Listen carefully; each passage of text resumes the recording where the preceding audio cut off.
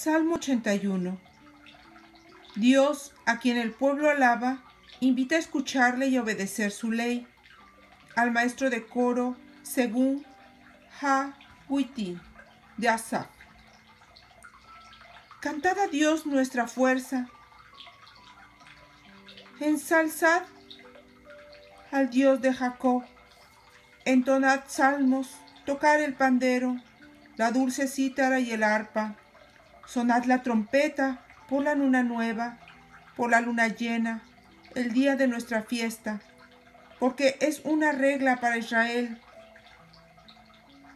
un norma del Dios de Jacob, un precepto que dio a José al salir del país de Egipto. Oigo una lengua que ignoro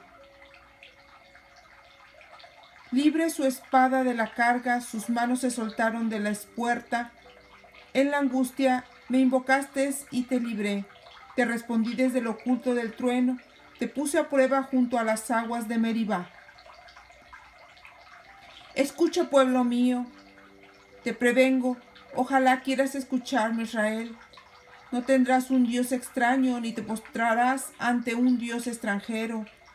Yo soy el Señor tu Dios que te hice subir de la tierra de Egipto.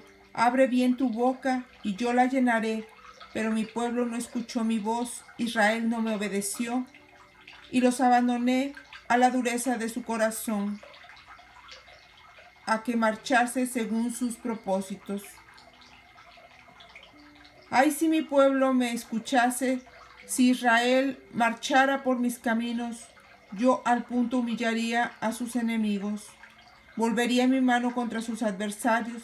Los que odian al Señor lo adularán, adularían, y su suerte sería para siempre. Yo le alimentaría con flor de harina, le saciaría de miel, de roca. Aleluya, aleluya.